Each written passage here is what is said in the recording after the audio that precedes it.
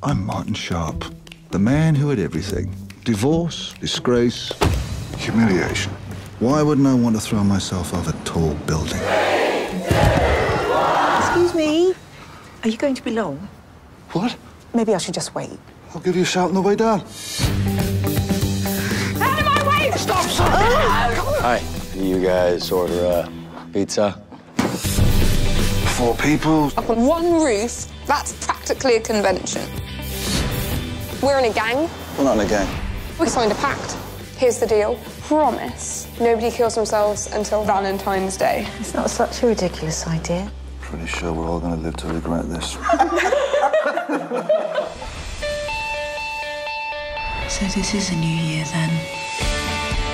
Many of us have been transfixed by the story of the Topper House 4. Politician's daughter. This is a media firestorm. Yes. Has anyone ever told you you're a bit of an idiot?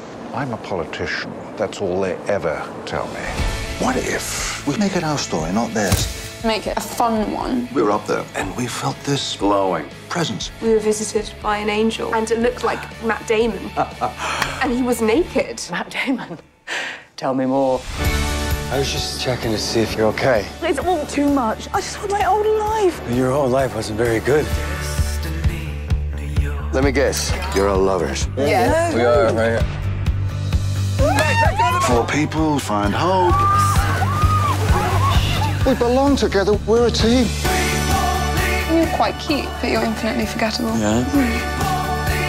I just wanted to say thank you for caring.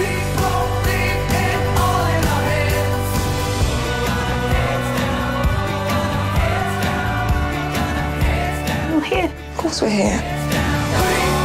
Kind of cool, huh? It's not much, son, but we're a start.